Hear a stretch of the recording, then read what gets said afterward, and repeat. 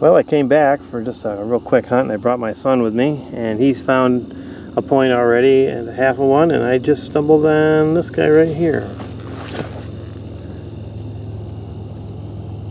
Looks pretty good.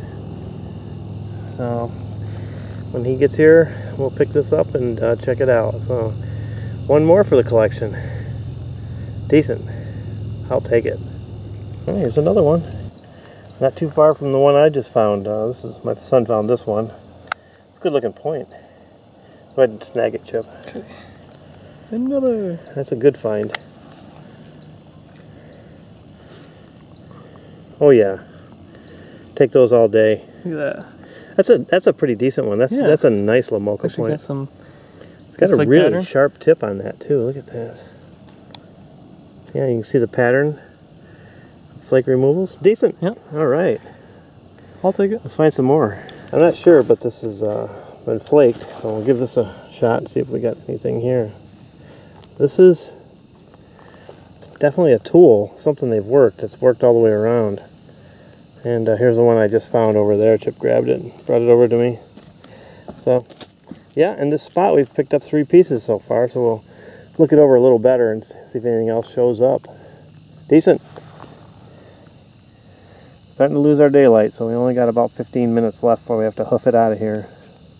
This looked pretty good here with whatever this is. I don't know if this is a tool or what. Probably not, just a square rock, but right next to it here looks like maybe. I don't know. I'm not convinced. I think that's just a chunk that wishes it was an arrowhead. So, yeah. I I might throw it in the bag just to look at it when I get home.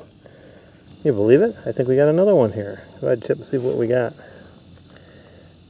It's definitely a point. Oh yeah. Oh yeah. Look at that. That's that's thin too. Oh yeah, that's about the thinnest thing I've seen found on here.